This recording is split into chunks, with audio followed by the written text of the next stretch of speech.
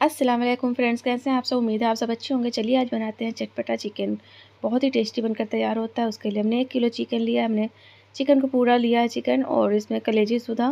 तो इसे हमने एक बाउल में डाल देंगे धो करके और इसमें हम एक कटोरी फेट करके हल्की खट्टी दही डालेंगे।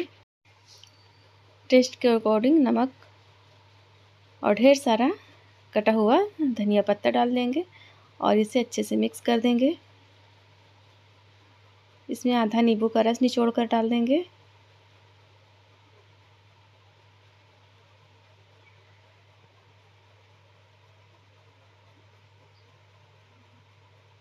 इसे भी अच्छे से हाथ से मिक्स कर देंगे।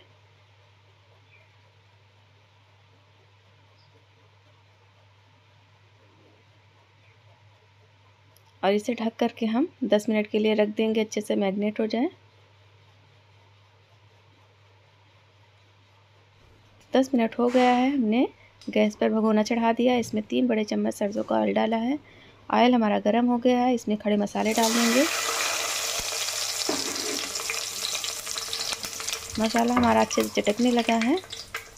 गरम मसाला तो इसमें हम बारीक कटा हुआ दो बड़ी प्याज है और एक इंच का टुकड़ा अदरक है, इसे हमने कद्दूकस कर लिया अदरक को।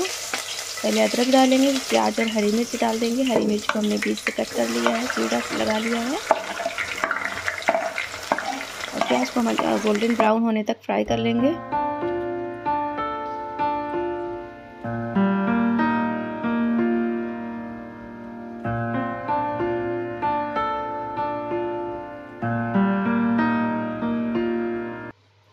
तो जब तक हमारा ये प्याज अच्छे से गोल्डन ब्राउन हो रहा है, तब तक हम मसाले निकाल ले रहे हैं।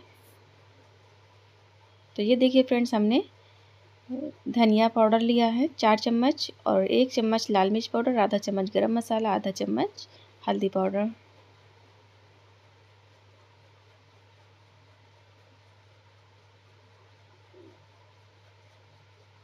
तो इधर देखिए हमारा प्याज भी अच्छे से गोल्डन ब्राउन हो गया है। तो अब इसमें हम चिकन डाल देंगे मैगनेट किया हुआ।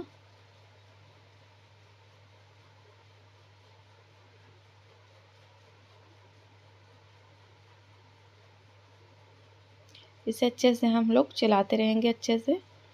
तो इसे भूनना है हमें। इसमें आधा चम्मच हमने नमक और डाल दिया है। तो नमक थोड़ा हल्का ही रखिएगा क्योंकि हमने मैगनेट करने में भी अभी हमने नमक डाला है और थोड़ा नमक हम इस ऊपर से भी डालेंगे। तो इससे हम, इसमें हमने अदरक लहसुन का पेस्ट डाल दिया है, तीन चम्मच।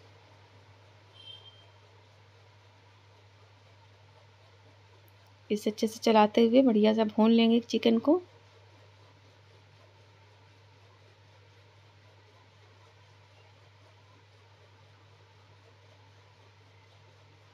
तो ये देखिए फ्रेंड्स छः से सात मिनट तक हमने अच्छे से इसको भूना है बंद करके। पकने दिया है, स्लो आँच पे, फिर इसे हमने ढक्कन हटा करके अच्छे से भुनाई करेंगे।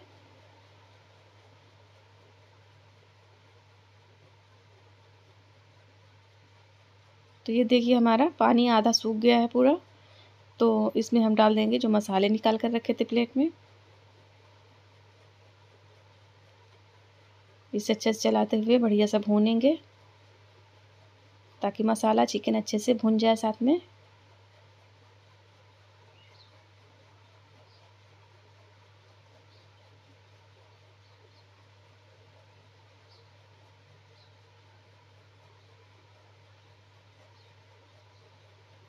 एक बार फ्रेंड्स इस तरह से बनाकर देखिए बहुत ही टेस्टी, बहुत ही चटपटा, मज़ेदार बनकर तैयार होता है चिकन। तो ये देखिए मसाला बहुत ही अच्छे से भून गया है। हमने 10 मिनट तक मसाले को अच्छे से भूना है और अब इसमें हम पानी डालेंगे तो हमने एक गिलास का तकरीबन पानी डाल देंगे।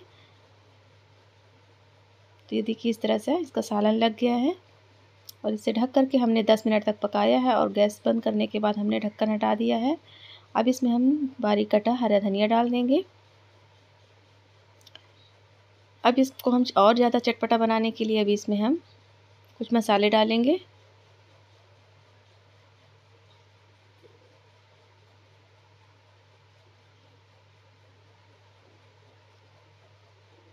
तो बेहतरीन हमारा बन गया है। अब इसमें हमने आधा चम्मच चाट मसाला डाल देंगे।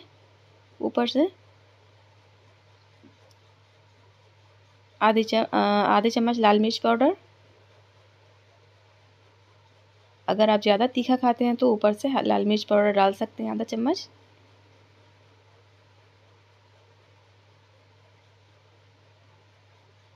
और आधा चम्मच डाल देंगे। आधा चम्मच से थोड़ा कम, गरम मसाला भुना हुआ।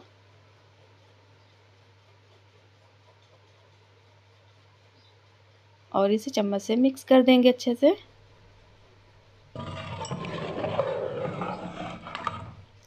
हमारा ये चटपटा चटकारेदार चिकन, कौरमा बनकर तैयार है। आप भी इस तरह से बना सकते हैं। बहुत ही टेस्टी, बहुत ही मज़े का बनकर तैयार होता है। और खाने के बाद आप कहेंगे हाँ क्या चटपटा चिकन बना है? तो उम्मीद है फ्रेंड्स, हमारा ये लजीज, बेहतरीन चटपटा चटकारेदार चिकन पसंद आया होगा। अगर पसंद आएगा तो प्लीज़ वीडियो को एक लाइक कर दीजिएगा। नए हैं तो चैनल को सब्सक्राइब कर दीजिएगा। तो फिर मिलेंगे मज़ेदार रेसिपी के साथ। तब तक के लिए अल्लाह हाफिज़। वो याद रखिएगा।